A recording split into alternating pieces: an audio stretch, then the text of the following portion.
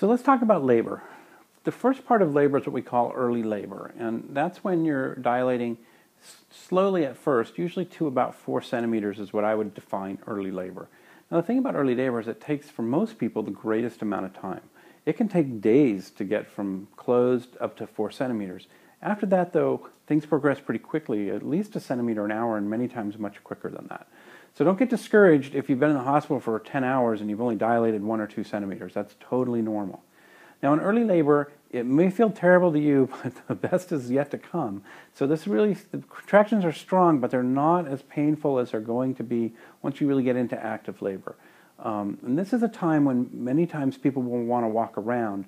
Uh, and so what we'll do is we'll monitor the baby for a amount of time, make sure the baby's okay, and then we let you get up and sort of wander around the hospital, um, sometimes with your IV pole or with your hospital gown, and walk around. And, and walking can sometimes really help sort of work through some of the pain of the contractions. And some people think that the gravity of being up helps bring the baby's head down. Whether that's true or not is, is hard to say, um, but it certainly for many people feels good.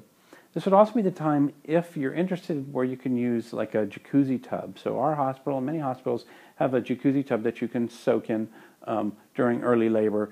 You know, it helps give you sort of a back massage, loosen up your muscles, and makes you feel better. So those are the kind of things that happen during early labor. Now, what you'll notice is that we'll want the baby on the monitor for a certain amount of time, and then we'll let you off the monitor for a certain amount of time, and then recheck the baby periodically just to make sure that there aren't any problems.